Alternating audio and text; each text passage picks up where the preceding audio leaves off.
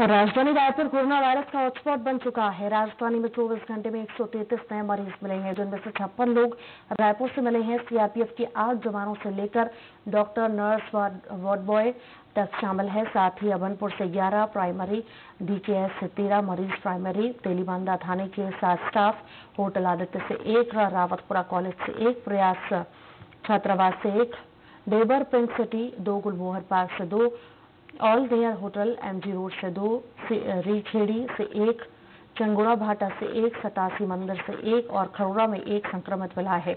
रात भरी बात यह है कि अब तक 35 मरीजों को ठीक होने के बाद डिस्चार्ज भी दिया जा चुका है। वहीं कुल पाँच कोरोना संक्रमित हैं, जिनमें से एक्टिव मामले दो हैं। दो सौ सतासी मरीजों को ठीक होने के बाद डिस्चार्ज किया जा चुका है। अंबिकापुर के पचहत्तर वर्षीय बुज़ुर्ग की मौत के साथ मृत्यु का आंकड़ा पंद्रह पर पहुँच गया है। नहीं हमारे पास तो अभी बहुत बेड खाली हैं। आज जैसे 35 मरीज़ डिस्चार्ज हुए हैं। तो 35 बेड तो ऐसे ही खाली है ऊपर से पहले से भी बेड खाली हैं।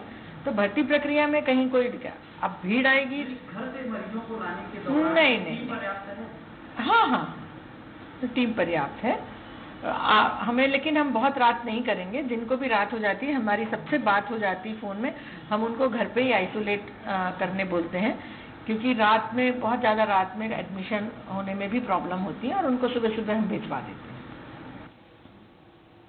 धर्मपुरी में सुनील आत्मा